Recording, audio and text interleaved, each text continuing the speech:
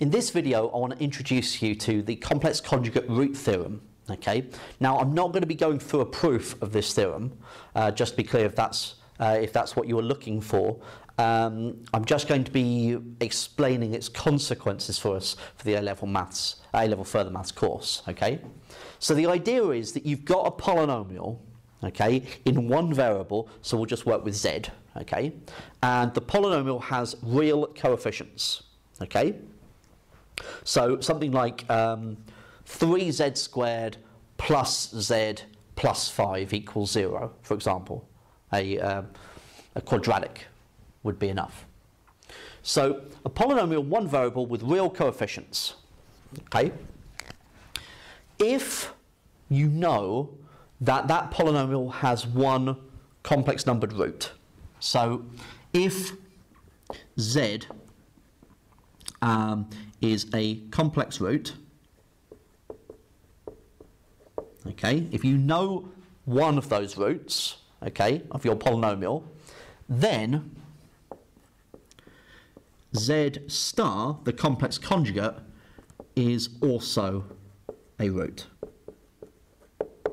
of your polynomial.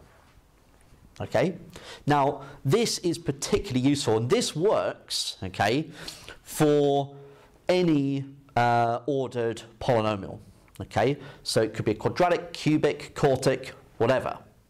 Now, that's very important. So what that means is that the complex numbers appear in pairs. Okay, so that means that if you told me that um, a polynomial had the root, so let's say it's a quadratic, and the first root, let's call it alpha, is 2 plus 4i.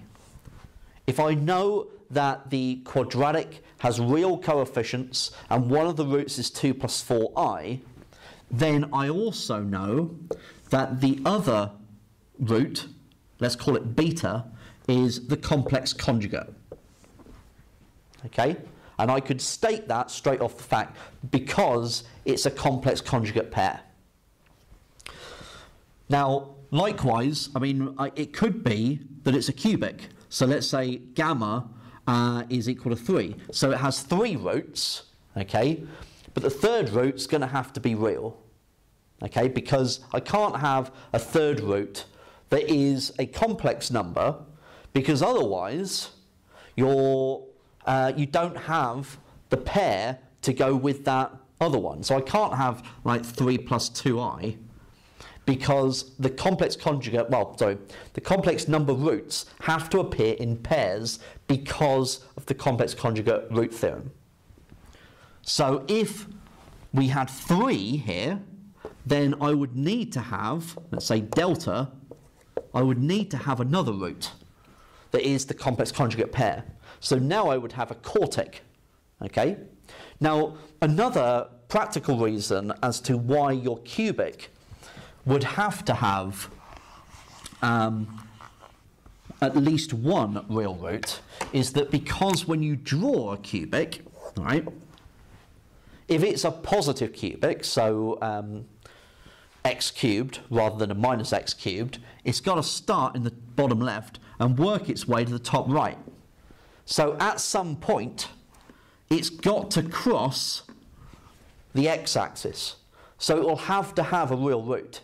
There's no way that you can have your cubic and it not cross that x-axis.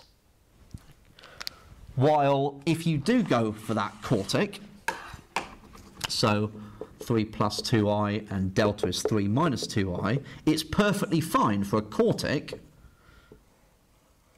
okay, to look something like that and never cross the x-axis. But then if you had another root in, it's going to have to be real for a quintic because for a quintic it's got to cross the x-axis at least in one place. So one could look like that, for example. So